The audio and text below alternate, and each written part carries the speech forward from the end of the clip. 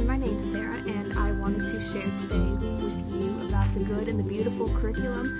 Um, this is our review for the language arts curriculum, and we are on level 5. Um, my daughter is in 5th grade right now, so we picked level 5 based on um, their recommended starting point for around her reading level, and it also is around 5th to 6th grade is typical for level 5, so that's where we picked. So far, my daughter has really enjoyed this. It is really, really fun. You actually get to read um, books that are not really in print anymore. They might be a little bit harder to find, but it doesn't mean that they're good books. I mean, that they're not good books. They are wonderful books. Um, her favorite so far was a book that was actually in the beginning of the curriculum, which was Gabriel in the Hour. Um, her best friend's name is Gabriel, so and he actually is an artist, so it's really neat that she actually got to read this story. She loved it. She couldn't wait to get to language arts. Her her words to me every day was, "Is it time for language arts yet? Is it time for language arts?"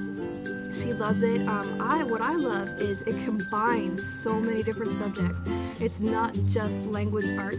You learn about art, you learn about history, geography. Sometimes you'll touch in science, and you do grammar. I mean, it is everything wrapped into one big, beautiful curriculum, and it's super helpful. It tells you anything that you might need ahead of time. Um, it has visual aids already in it, and each lesson is packed full of so much information that it's almost like a big giant unit study that you can make on your own just based off what is in each lesson. Um, for example, when they started reading a new story, it took place in um, Bruges, and you could actually start a unit study on your own based on where the book was in Bruges because they learned where it was on the map, um, what country it was in, and a little bit of background about it. And you can actually go ahead and get to the library or order books about Bruges and the country and their culture, and you could start a whole entire unit just based off of that too. Um, it's really great for homeschoolers. I really enjoy the good and the beautiful. All their curriculum so far has been amazing for us. Um, this is actually our first year using any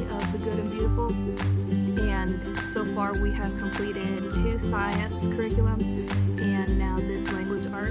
I'm really looking forward to having them in my school for the years coming up. I love that you can carry into high school years and I really enjoy how everything is well thought and put together for teachers and you have no problems being able to teach effectively and get your point across. Um, we have absolutely loved it and I can't wait to see what's in store for the future years. So thank you so much.